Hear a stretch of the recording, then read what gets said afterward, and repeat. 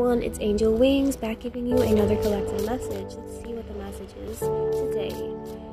Alrighty, Ace of Swords. Okay, Ace of Swords. I feel you've got some truth, some clarity, a better understanding about where something in your life is going right now.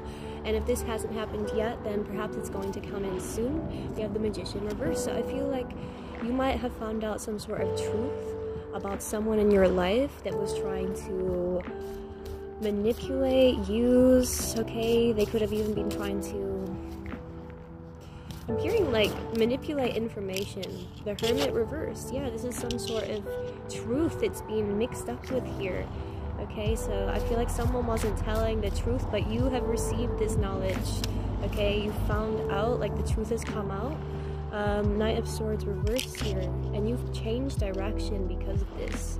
Okay, so I'm seeing this. This could be Virgo energy. We've got uh, Virgo, Aries, not Aries, but maybe Aries, Libra, Gemini, and Aquarius. Page of Swords, reverse all swords energy.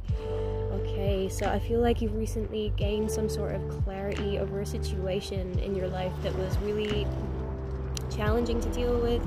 It was very mentally draining, mentally taxing. This could have been to do with your work. Oh my god, what is this? The King of Swords, no way. And the world. Okay, so a new cycle is here beginning for you. Let me clarify this King of Swords. Ah. Okay, I'm back, sorry.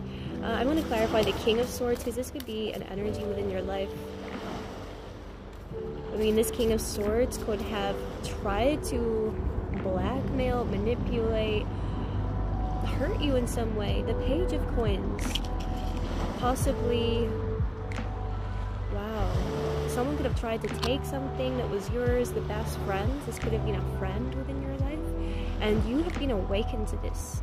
So because of this truth you are now deciding you know what you're better where you are and i'm better moving forward okay? So i'm seeing that. I hope you enjoyed the message. Thank you